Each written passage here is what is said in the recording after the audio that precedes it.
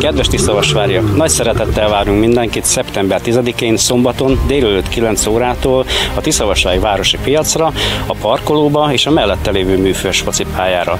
Zöld Városközpont kialakítása című pályázatunk záró napjához érkeztünk. Ami a nap folyamán várja önöket, az a műfős focipályán egy focitorna. Akrobatikus rock and roll. Freestyle bemutató. Mindful Fitness Iszály Pannival. Autósok és motorosok a parkolóban. Rendőrségi műveleti bemutató. Bringa király Majoros Péter triál bemutatója. Kerékpáros ügyességi verseny. Habparti. Autós motoros kaszkadőrshow break bemutató,